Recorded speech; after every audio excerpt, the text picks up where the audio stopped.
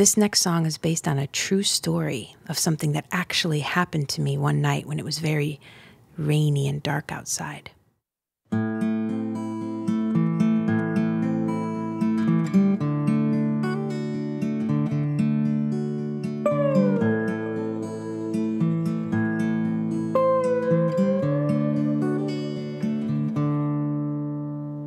It was a dark and stormy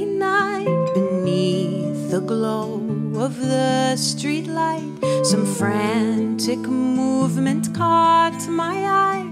It looked like a big butterfly, but one of those that's out at night. I said, a moth, and I was right. She was a beautiful surprise. Her wings had spots that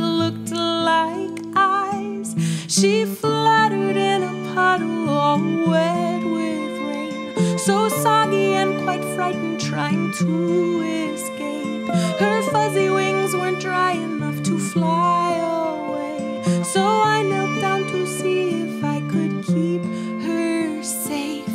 I reached out, hoping she would crawl. She didn't hesitate at all when she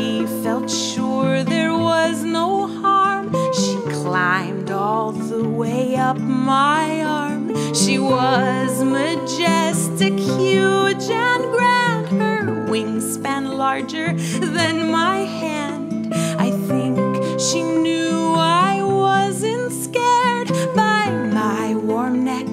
She lingered there, and after she had quivered water off her wings, I felt her cute antenna lightly tickling.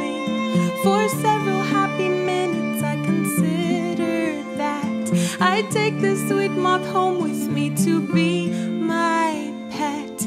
But suddenly I felt her fly. She pulled herself up to the sky. I watched her float into the night. I stared till she was out of sight. I quite sad to see her leave, but then I looked down at my sleeve, stuck to my sweater,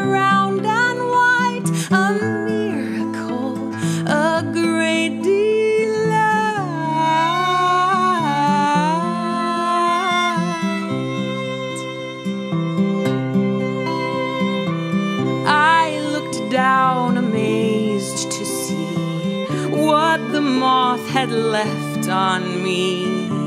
What were these tiny pearly dots? She had left some small white spots. I knew then with certainty she had laid her eggs on me.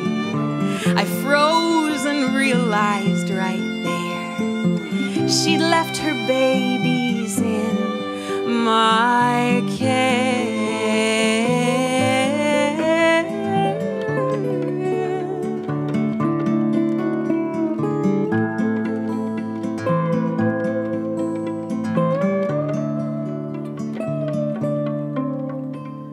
I slowly picked them off my sleeve and gently placed them on a leaf. I put the leaf inside a tray and checked those moth eggs every day. And then one morning there I saw a sight I'd never seen before. I jumped and laughed, let out a shout.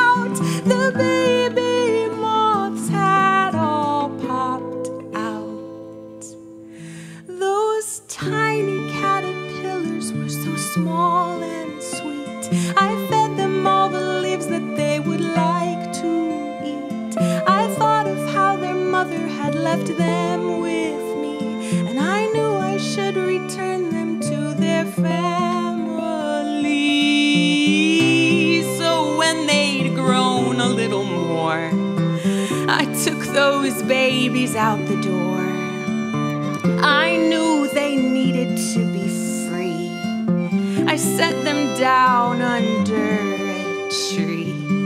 I hoped that they'd grow big and strong